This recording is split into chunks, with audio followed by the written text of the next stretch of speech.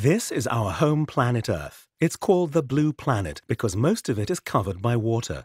About two thirds is covered by oceans, and another 4% by fresh water in the form of ice sheets, glaciers, lakes, and rivers. Water is key. We drink it and we shower with it. We irrigate our fields and crops if the weather doesn't do the job. Just as vital are the oceans. We catch 80 million tons of fish and move 100 million cargo containers across the high seas every year. The oceans may seem distant, but their role is so important in how our climate evolves.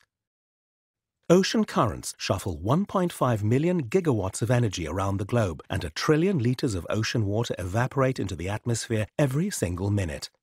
The weather, the climate, the health of our environment, even most of our personal lives, all depend on the oceans.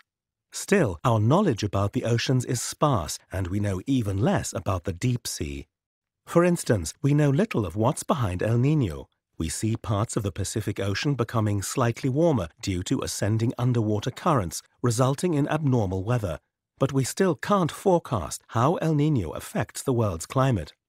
Or monster waves, Every month, a few large vessels suddenly disappear on the high seas, some of them after a fatal encounter with a monster wave taller than a church steeple. We want to be able to detect these areas of extreme surges and route maritime traffic away from them. We know even less about the ice sheets around the poles and about glaciers. How fast will they melt due to global warming? How will warmer currents change global ocean circulation and change the sea levels? These questions are of urgent concern to 2 billion people on Earth, and concrete answers are overdue.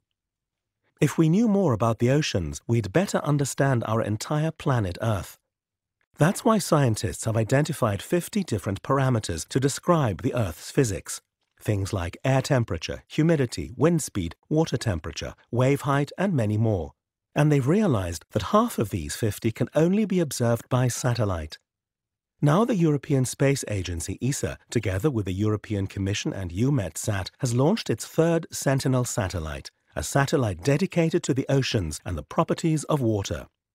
Sentinel-3 will, for the first time, provide almost daily coverage of all surface water on a global scale, with information about its levels, movement, temperature, the wind speeds, and the water color. With these new observations, short-term changes will be observable, adding to the long-term monitoring of the oceans, a 20-year heritage of successful Earth observation missions such as ENVISAT and Meteosat. Sentinel-3 will supply the world's supercomputers with fresh data for better weather and climate forecasting models, ship routing, and river level predictions. It will observe the water quality in coastal environments, as well as the pollution in the atmosphere, and, in addition, it will detect forest fires on land and measure the decrease of snow, glaciers, and ice sheets on a global scale. The science of today creates the applications of tomorrow.